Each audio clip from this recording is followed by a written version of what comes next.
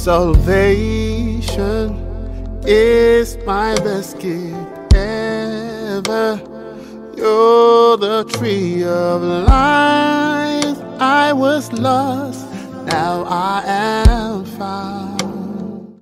Let's talk about the temple, the third temple that is going to be rebuilt in Jerusalem. Why that?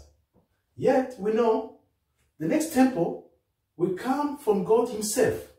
What's the need for a man-made temple that is going to be rebuilt in Jerusalem? Why that? If we know it's going to be sent by God Himself, what's the need for man-made temple in Jerusalem? The gathering should happen first. We know the gathering from the four corners of the earth has to happen first, done by God Himself. If the gathering is going to be done by God Himself,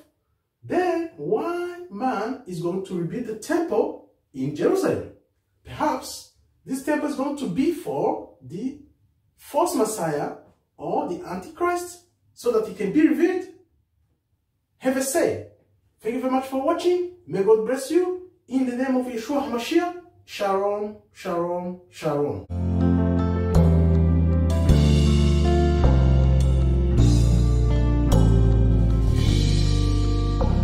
Salvation is my best gift ever. You're the tree of life. I was lost, now I am found.